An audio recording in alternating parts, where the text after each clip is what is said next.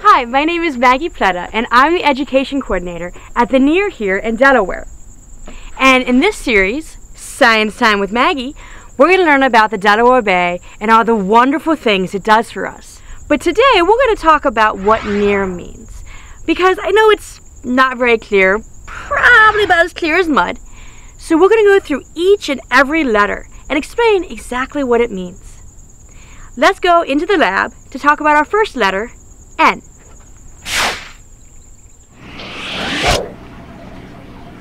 That's better. So let's talk about our first letter, N for national. This is probably the easiest letter in our acronym because all it means is that it's a system that's all over the United States. The way it works is a partnership between NOAA, the National Oceanic and Atmospheric Administration, and a state agency. Here in Delaware, our state agency is DNREC, the Department of Natural Resources and Environmental Control. Each state has a different state agency they partner with. Some of them partner with the DNR, like we do in Delaware, and other ones partner with a state university. The idea is that if we all work together on national priorities, but with a local focus, we'll get the most bang for our buck in estuarine research. The next letter in our acronym is E for estuarine. I can see by your face all you heard was S2 what?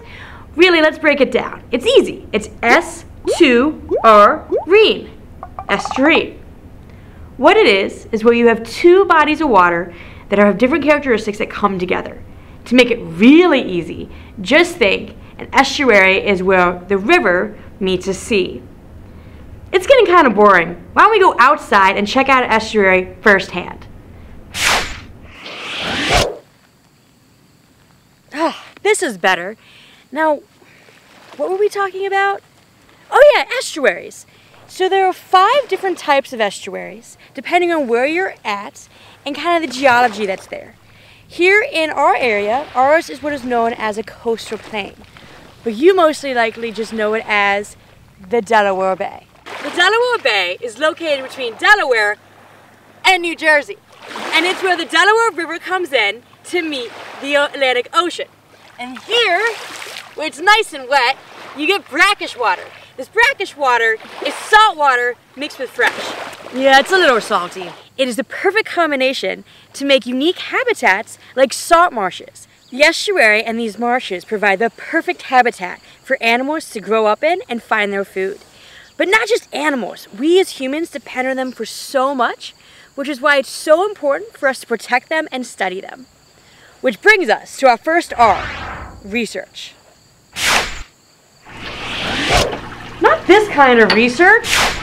This kind of research. Yeah, some research does take place in the lab, inside, goggles, test tubes, the whole nine.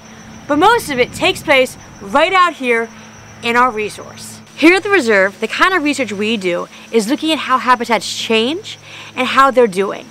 To do this, we take what is known as system-wide monitoring program data. What makes it really good is that not only do we collect it, but so does every other reserve in the system. This gives researchers a really great base of data they can look at to see how things are changing.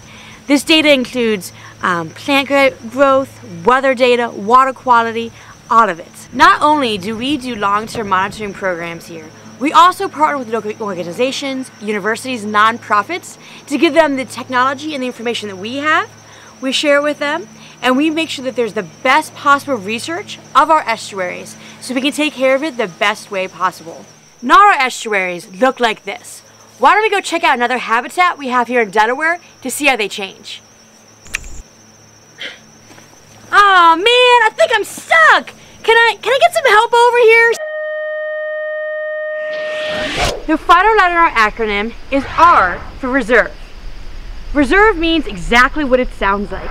It means these areas are reserved or set aside and stopped from being changed in any way.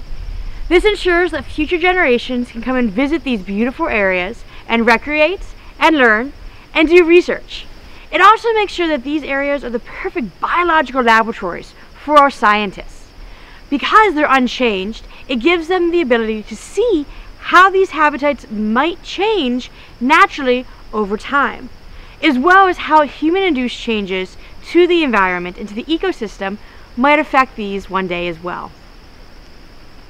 Well, that's all we have for today. And now that you're an expert on national estuarine research reserves, I hope that you take the time to visit the one here in Delaware, as well as the other 27 across the country. Because you never know what you're going to find in an estuary or what you can do. Thanks for joining me on Science Time with Maggie, and I will see you next time. My mind isn't working. Working. Working. Yeah, you're gonna need to back. Okay. Yeah.